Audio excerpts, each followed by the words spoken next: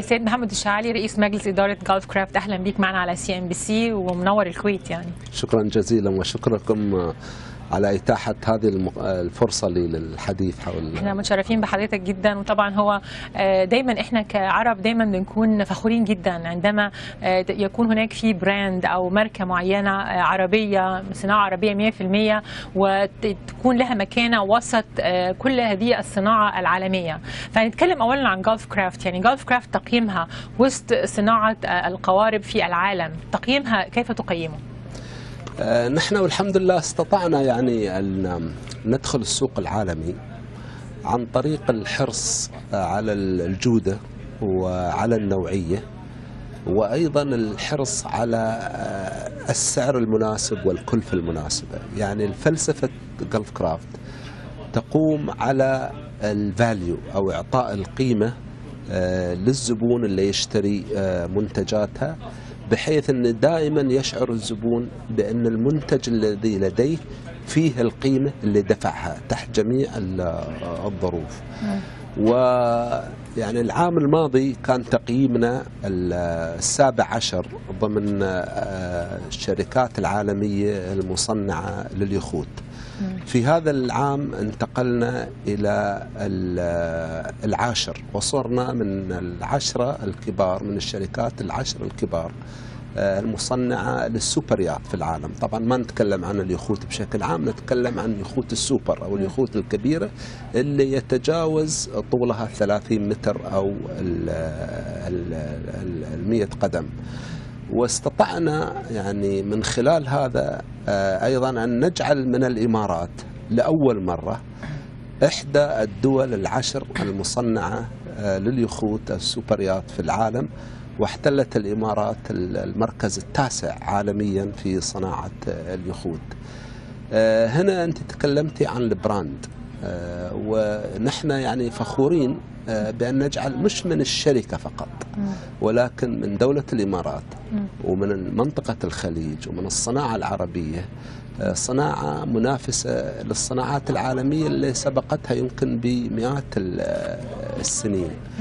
والحقيقة ال- الإمارات يعني آه، ككل نجحت الحقيقة في تقديم آه، brand names آه، طيران الإمارات آه، أحد الأمثلة الواضحة اللي نحن في Gulf Craft نقتفي اثره طبعا فإذا استطاعت الإمارات أن تتغلب على أغلب الشركات العالمية اللي سبقتها بمئات السنين ليس فقط في يعني آه، تقديم الخدمة ولكن الإمارات الشركة الوحيده الإم- طيران الإمارات الشركة الوحيدة في العالم اليوم التي تصل العالم كله كل قرية وكل مدينة ببعضها. مم. فالإمارات هي الواصل الوحيد لنا فالحقيقة ظروفنا في الإمارات أيضا كثير ساعدت في هذا. يعني حضرتك ذكرت لي قبل اللقاء قلت لي إنه إحنا جزء من نجاحنا إن إحنا وجودنا في الإمارات. جايز لو ما كناش في الإمارات أو في أي أخرى لم نكن لنحقق كل هذا النجاح. ما في شك لأن ال- ال- الإمارات الحرية التجارية اللي في ال- الإمارات ال- المنافسة اللي موجودة في الإمارات. آه، طبيعة التركيب السياسية لدولة الإمارات اللي هي التركيب الاتحادية. اللي القوانين والأنظمة فيها يعني فيها نوع من ال- المرونة بحيث تتيح للرجل المستثمر الرجل هذا أن يبدع.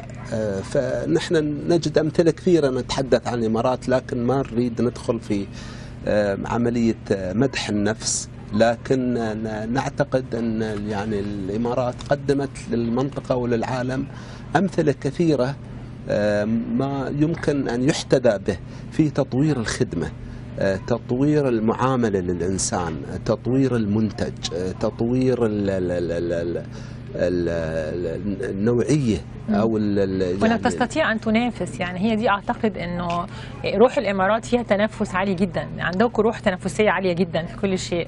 فأعتقد يمكن من هذه الروح يعني قدرتوا إنكم تخلقوا brand زي ما حضرتك ذكرت طيران الإمارات جميرة أصبحت الآن أيضا تمثل brand name يعني لا يقل بل بالعكس يعني أعتقد إنه يتفوق على كثير من الأسماء الأخرى العالمية. نعم.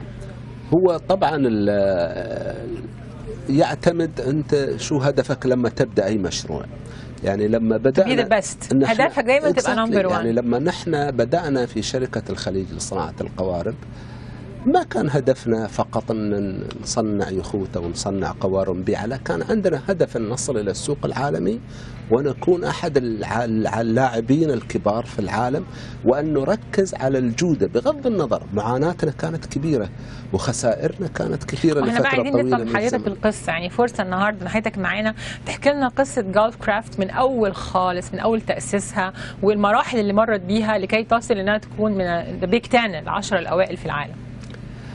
أكيد في قصة يعني يعني. هو لا شك إن في في قصة والقصة إن كان فيه خلفها مجموعة من الشباب آه، المتحمسين نتكلم سنة كام؟ نتكلم سنة 1982 لكن الفكرة بدأت يمكن في 81 لما بدأنا نتحدث آه، مع بعض كمجموعة حول الفكرة.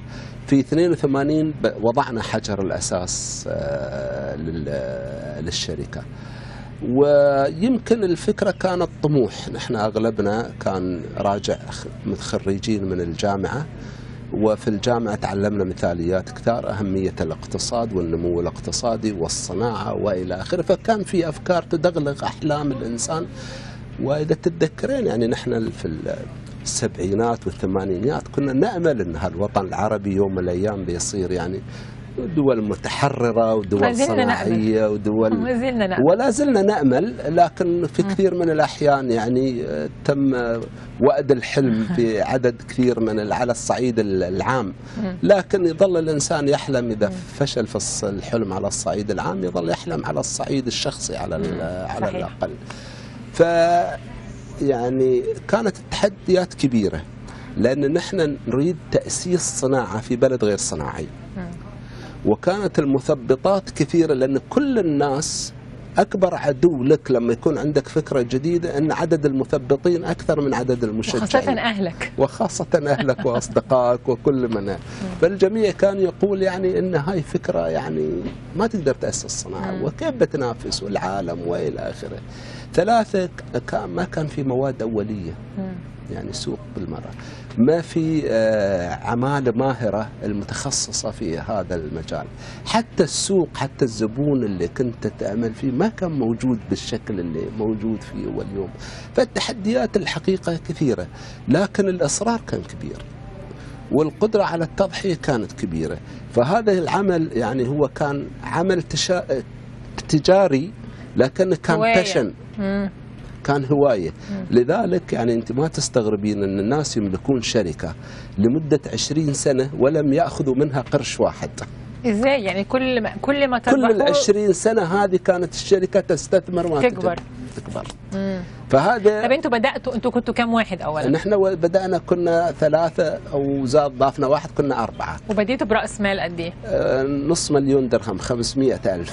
يا. وكنا ندفع رواتب العمال لأن كنا كلنا موظفين حكومة. ندفع رواتب العمال من رواتبنا. وبدأتوا بقى في مصنع فين يعني في الأول أكيد رحتوا زرتم مصانع؟ آه، نعم نحن زرنا مصانع في أمريكا و- وفي أوروبا واتفقنا مع يعني جبنا خبراء آه، أمريكان في البداية آه، اللي ساعدونا آه، في وضع التصاميم. لأن أكبر أسوأ شيء في الصناعة أن لا تعرف أسرارها. طبعا فنحن يمكن أكبر مكسب اليوم كسبناه هو معرفة أسرار الصناعة.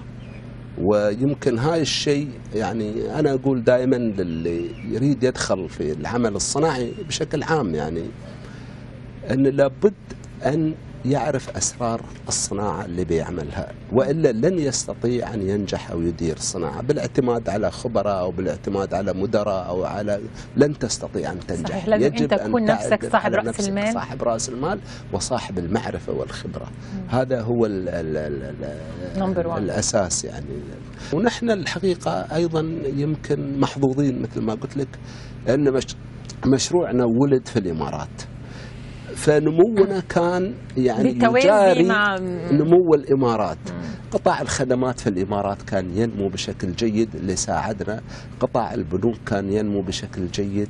آه، قطاع ال- ال- ال- التأمين قطاع النقل. آه، هذه كلها ساعدتنا في توفير المواد الأولية في توفير العمالة في التدريب آه، في المعرفة تراكم المعرفة. فالحقيقة ظروف كثيرة في الإمارات. يعني أحد المكونات الأساسية بقول لك في الإمارات أن لولا معرض دبي للقوارب واليخوت نحن ما وجدنا انتشار عالمي.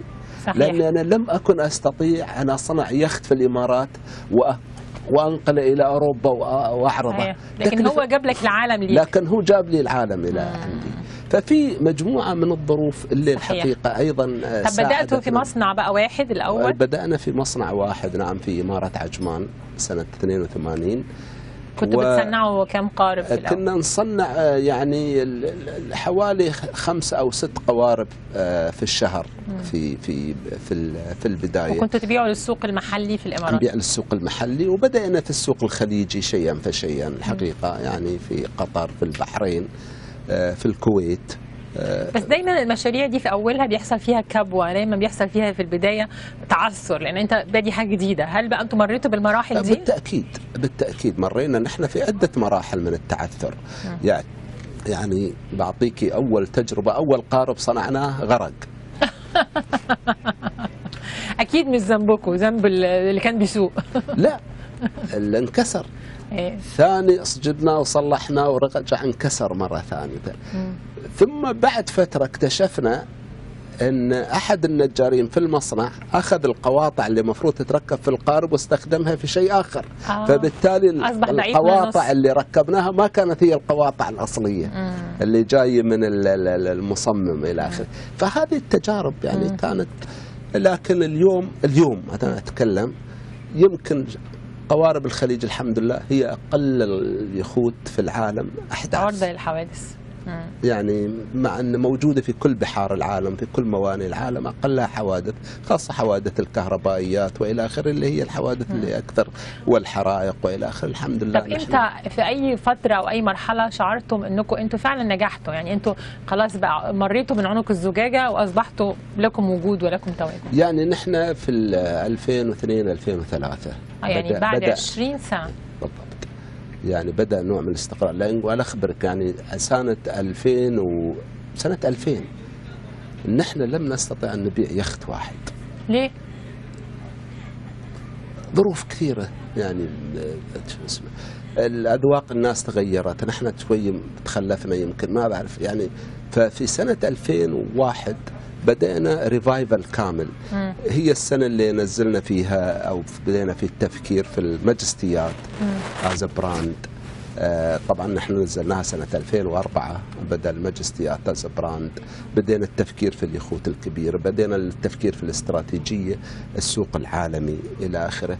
في أشياء كثيرة بدينا نعدلها في, في بس هي نفسها صناعة ال boats نفسها والقوارب ال luxury أعتقد إنها مرت أيضا بطفرة زي كل شيء في العالم. يعني طبعاً. يعني فجأة في كده في مرحلة معينة وأصبحنا إحنا بنتكلم على مستوى تاني من ال luxury مستوى مستوى تاني من ال technology مستوى تاني من آه، يعني الصناعة نفسها. كان كان إمتى لو حضرتك تتذكر؟ في أي مرحلة؟ يعني هي ال- أنا أعتقد في المنطقة مع الطفرة النفطية ع- يعني صارت أيضا طفرة أذواق. مم. يعني شراء السيارات الغالية طبعا. الأذواق الغالية الأذواق أرقى. الساعات الغالية صارت الأذواق أرقى لأن الدخول زادت. صار عندنا طبقة متوسطة ما كانت موجودة. إحنا يعني في الخليج عندنا طبقتين يعني طبقة فقيرة وأغلب الناس مم. يمكن 95% وطبقة غنية محدودة جدا. صار عندنا طبقة متوسطة. الطبقة المتوسطة دائما تخلق آه، نمط استهلاكي معين. اللي هو ال- ال- ال- النمط الاستهلاكي الأكثر استقرارا. آه، لأنها طبقة كبيرة. فبالتالي هذه بدأت مع بداية دخول النفط. السبعينات يعني أواخر السبعينات بداية الثمانينات لما بدأ آثار النفط تظهر تظهر على ال- على الناس. الصناعة العالمية نفسها دخل لها تغييرات كثير. يعني كان أغلب الناس يأخذون اليخت للاستخدام. آه، العملي أكثر من ال luxury. تغير صار لا الناس تطلب كل شيء luxury سواء ال entertainment system اللي موجود في اليخت لازم يكون أحدث شيء الأثاث الديكورات إلى آخره ال navigation أو ال- ال- ال- ال- الأدوات الملاحية. هذه كلها تغيرت وتتغير كل يوم تتغير. هل هل هو بذلك كنت هساله هل أنتم تعتبروا إن هي صناعة متحركة fast moving يعني بتتحرك بسرعة وبتتغير وبتتطور آه، مش بس في ال luxury لكن أيضا في أدوات الملاحة وال technology المستخدمة؟ هل بيحصل فيها تطور سريع؟ لازم تكون أنت مواكبه على طول؟ إيه طبعا طبعا. إذا ما تواكب هذه الصناعة هذه الصناعة اولا المواد الأولية تتطور وهذا مهم جدا لأن ال- اليخت مبني على الجسم. الجسم داخل فيه عدة مواد. يعني على سبيل المثال الفايبر جلاس اللي اليوم نحن نستخدمه في ال في ال في بناء الهياكل الهياكل اليخوت والقوارب. هذه مادة جديدة. يعني عمرها أقل من 100 سنة 80 90 سنة اكتشفت في 1935 لكن مادة ما لها عمر. مادة يعني عمرها حتى الآن ليس لها عمر افتراضي. ثم نفس المادة تتطور. نحن نسعى إلى إيش؟ السعي. نسعى إلى زيادة القوة وتقليل الوزن. هاي المعادلة اللي دائما نسعى المعادلة لها. الصعبة. المعادلة الصعبة. أنا أريد مادة أقوى بوزن أقل لأن كل ما قوة المادة وقل الوزن معناه استهلاك الوقود هيقل احتياجي لمحركات أكبر حيقل احتياجي للصيانة حيقل إلى آخره. فهي تتطور. آه، طيب أنا أريد أن أسألك عن آه، يعني ال- الكلفة الأكبر لصناعة اليخت بتذهب في أي عنصر من عناصر بس ولكن بعد الفاصل إن شاء الله.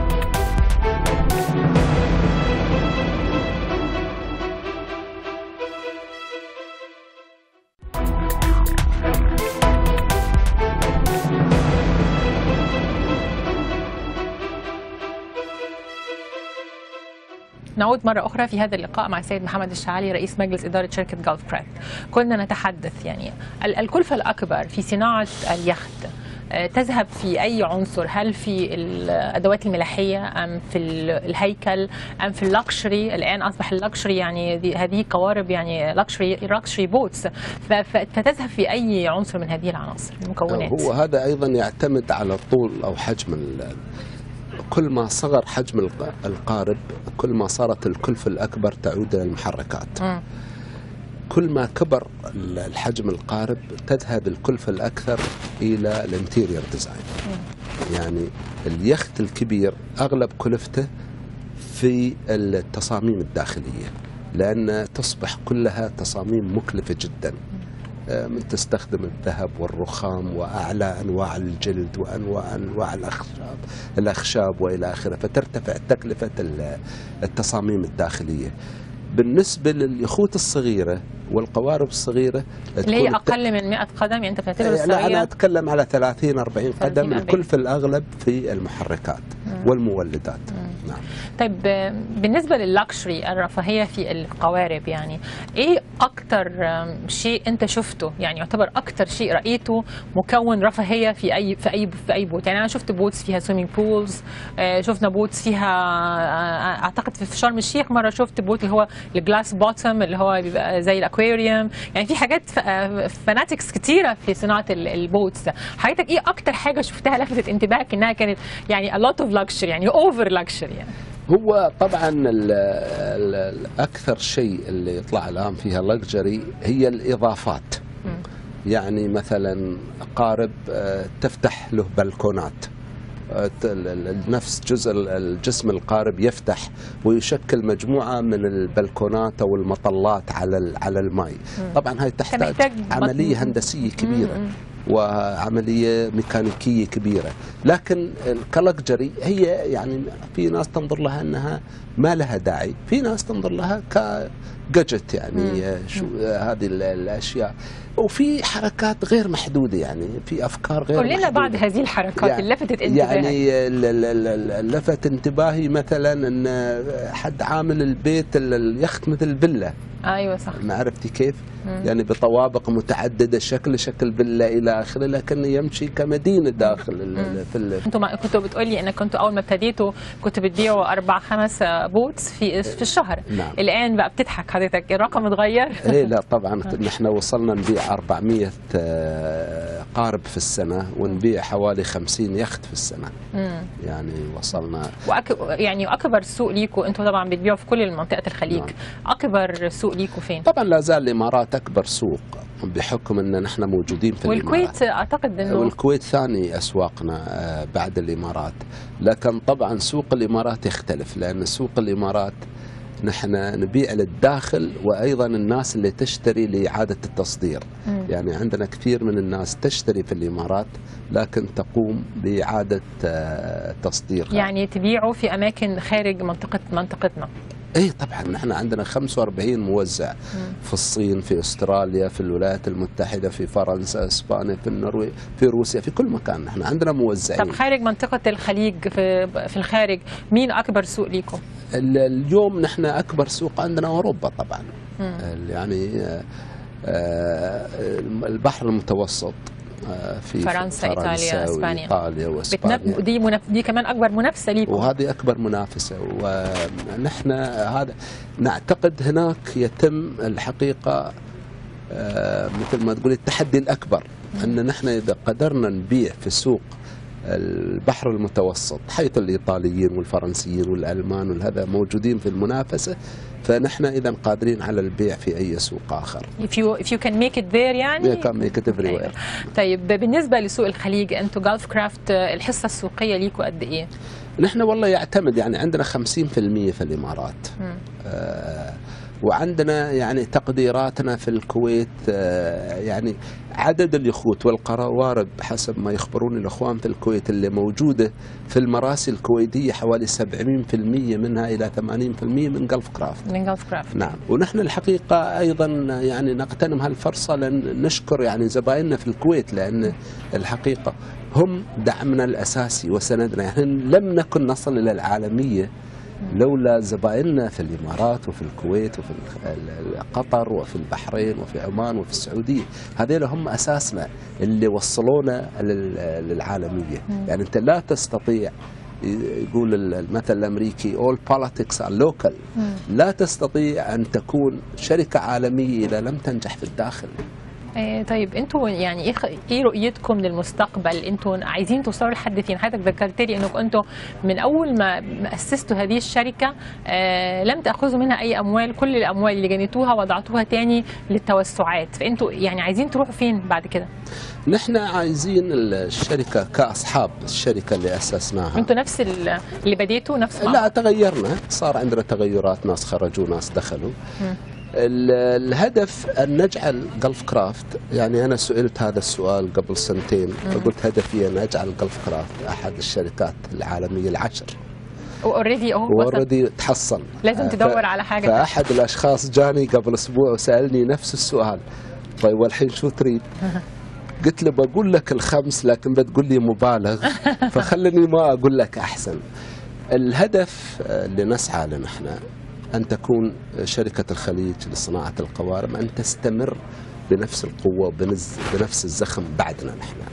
وأن يأتي الجيل الثاني اللي يحمل هاي الرسالة وأن تتحول هاي الشركة إلى شركة عامة مساهمة عامة حتى نضمن لها الاستمرارية والحياة لأن نحن ما نريد أن تكون يكون عمر الشركة محدود بأعمارنا أنا كنت ده سؤالي الثاني متى ستفكر في طرح هذه الشركة لا نحن الفكرة موجودة والقناعة موجودة بس في الحالة دي. لازم هتوزع أرباح ما ينفعش أنت لابد طبعا هو نحن خوفنا نحن بدينا قبل ثلاثة أو أربع سنوات في التفكير لكن صار في قلق عند الجماعة من ال- الذهاب في ال IPO أو public بيكون في محدودية في قدرتنا على الحركة وعلى ال ال ال الإنتاج وعلى الإبداع. تعرفين لما يصير شركة عامة غير عما تكون أصحابها طبعا. يتعبون وراها هتبقى كل more. business than passion بقى. بالضبط. هذه هذه هذه المشكلة.